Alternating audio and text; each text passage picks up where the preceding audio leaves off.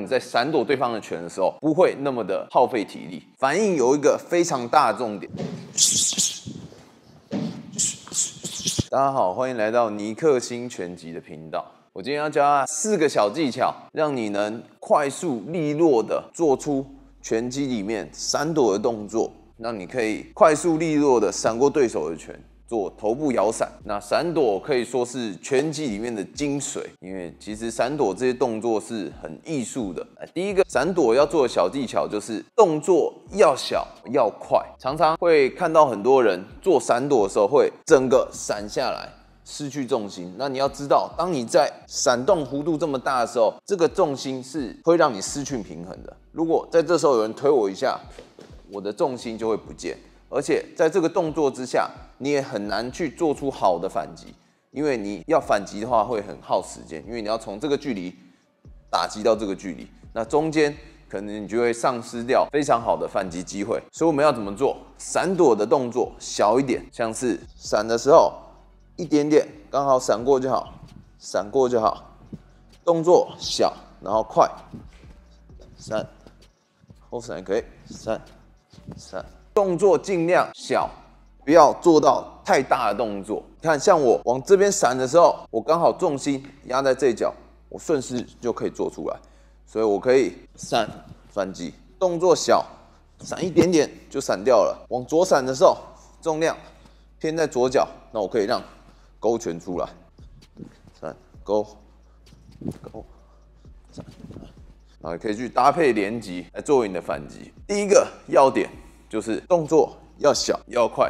那练习的时候，你也可以在地板上找一条直线，两脚一脚左边，一脚右边，拳击姿拿好，看着这个线，这个线就是你拳会直线朝你来的路径。看着这个线去做闪躲，你只要看你自己在闪躲的时候，头的中心有偏离掉这个线，偏离掉这个线，其实你就可以闪过拳。对，你可以找一条线，这样子去做练习。看着，先看着地板。去练习小动作的闪躲，一样动作要利落要快。为什么这样就能闪掉呢？因为你要想，对手朝我们丢出拳的时候，拳套其实了不起十三到十五公分宽度，就只有这么宽而已。所以你不需要闪到这么多，而且这样你会对你反击的重心非常的不好。反击是非常需要时机的，所以你把握好闪掉，刚好这一块偏离掉。就可以搭配反击上去，这是第一个小技巧。那第二个小技巧就是，我们不要在静止不动的状态下去做闪躲，因为这样你速度要从零到一百冲上去，这样子很难。虽然我知道有些人反应很好，协调性很好，还是可以做到。但是我们如果可以用更轻松的方式去闪掉对手的拳，那不是更好吗？所以我们可以做摆动。所以，我们平常在练习的时候就可以做摆动，然后想象对手出拳，做一个闪躲。因为你要知道，在摇晃的重心是很难让对手瞄准的，而且它摇晃的重心也能让你从五十到一百，你的启动会比较快，相对来说，也在让你在闪躲对方的拳的时候，不会那么的耗费体力。所以，我们一样可以找一条线来练习，一条线，然后一样做摆动，轻松的左右摆。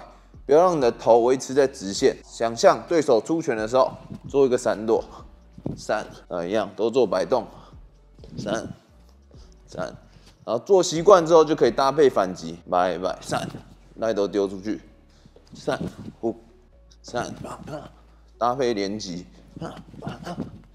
这样子去做练习，那相信会对你的闪躲会有非常大的进步。第三个，我们也可以利用。擂台上的绳子去做练习，我把绳子搭建在两边的擂台上面，形成和我头部差不多高度的绳子。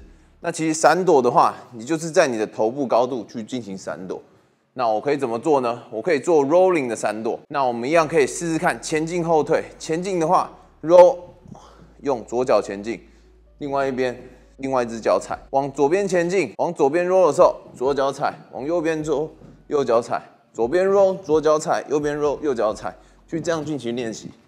那其实后退也是可以，左边 roll 左脚踩，右边 roll 右脚踩，去这样进行闪躲的练习。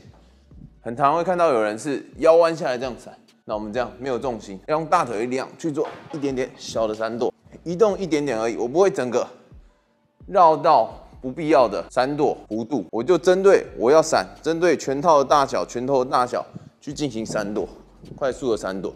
然后记得闪的时候，很多人会手放下，记得一样，把你的手拿好，放下来的时候，有时候闪的时候，这边如果敲到一颗反击，那会很恐怖。所以我们一样闪的时候，手都放在下巴，下巴收起来，去做前进后退的练习，去练习闪躲，然后一样练习完，啪啪啪，就可以搭配反击，前进后退都一样。这样的训练也可以有效的帮助你，让你的闪躲更加的利落，让你知道要怎么去用最小的弧度闪掉对手的拳头。这是第三个。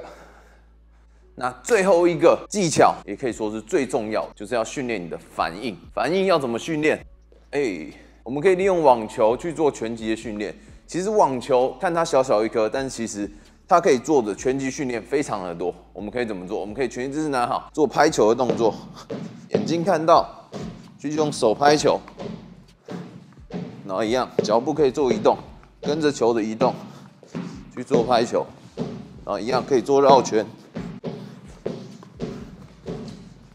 像是这样子拍球的训练，也可以做出拳的训练。我们也可以让手拿好，然后去做出拳，手放在上面，换的时候拳出去，换的时候全出去，去做这样的练习。那你可能会觉得这样子就要练到什么反应？我这边拍球为什么会练到反应？那其实你要知道，反应有一个非常大的重点，就是你的协调能力，你的手眼协调能力。你眼睛看到目标，传达到你的脑，你的脑在下指令让你进行动作。其实这个就是在训练你这个反应速度，这个传导的快速。所以一样就可以拍球去训练，看到目标，我要在什么样的距离去拍到它，然后搭配我的脚步移动去做反应的练习。那你也可以做，像是把球丢起来，看到目标做连击，右手丢，左手接做连击，或者左手丢。右手接，做连击，也可以丢勾拳，勾拳，也可以出完全再去做连击的动作，也可以拍地板，像是这样的去训练你的手眼协调，还有反应能力，那相信会对你的拳击里面做闪躲的时候会更加的流畅，更容易闪掉对手的攻击。那我今天的分享都到这边，喜欢这个影片，觉得这个影片有帮助到你，那请帮我订阅我的频道，按赞，有什么疑问都可以在留言里面提出，啊可以追踪我的 IG，然后记得要开启小铃铛，这样才不会错过我的新影片。那我今天的介绍就到这边，谢谢大家，拜拜。